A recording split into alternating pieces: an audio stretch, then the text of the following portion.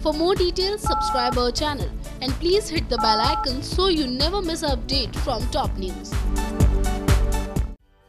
ये वीकेंड दिव्या दृष्टि के फैंस कभी नहीं भूल पाएँगे, क्योंकि इस वीकेंड ऐसे ऐसे खुलासे हुए हैं ऐसे ऐसे ट्विस्ट इस कहानी में एंटर लिए हैं, जिसके चलते फैंस को समझ नहीं आ रहा है कि वो वाकई में खुश हो जाएँ या फिर बहुत ही ज़्यादा दुखी। क्योंकि एक तरफ़ जहाँ रक्षित की शादी लवन्या से होने वाली है तो वहीं काफ़ी हद तक समझ गई है दृष्टि रक्षित की मजबूरी को। वहीं अनजान और रक्षित का जो पूरा पूरा सीन था, वो भी क्लियर हो चुका है। और ऐसे में अगर बात करें आगे आने वाले एक और बहुत बड़े ट्विस्ट की दरअसल आप सभी को लावण्या का असली सच अब देखने को मिलेगा कहानी में। जी हाँ काफ़ी ज़्यादा कहानी आगे बढ़ चुकी है। लावण्या के हम बहुत सारे रूप देख चुके हैं, लेकिन इस बार लावण्या का ऐसा सच सामने आने वाला है जो आप सभी के रोंगटे खड़े कर देगा। ऐसा इसीलिए क्योंकि शुरू से लेकर अब तक हमने लावण्या को एक बहुत ही बबली और एक बहुत ही ग्रीडी लड़की के रूप में देखा है।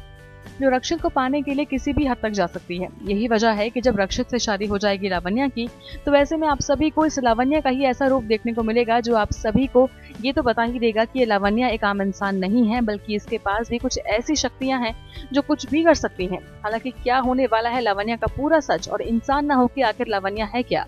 जानने के लिए बने रहिए हमारे साथ और सब्सक्राइब कीजिए हमारा channel top news just for you. Top news से आस्था की report.